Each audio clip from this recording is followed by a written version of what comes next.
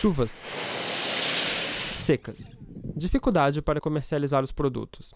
Agricultores afetados por esses fatores de risco contam com um programa de subvenção ao seguro rural que garante, entre outras vantagens, a manutenção da sua renda. Nesse programa, como é um programa extremamente importante, não a, a princípio não teve corte.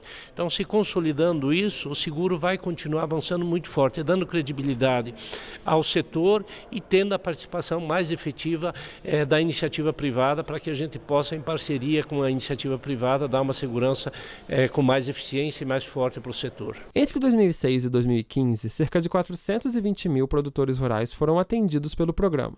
Apenas na resposta a eventos climáticos, o investimento somou quase 3 bilhões de reais, o equivalente a mais de 75 mil apólices de seguro. O seguro é fundamental. É, se nós quisermos ter uma atividade como é a atividade agropecuária, o setor agropecuário forte, pujante é, e dinâmico, e como ele tem respondido às grandes demandas do Brasil, o seguro rural ele se configura como a principal ferramenta de política agrícola. A agricultura é uma indústria a céu aberto, sujeita a granizo, sujeito a intempéries, sujeito a secas, sujeito a pragas, sujeito a doenças. Né?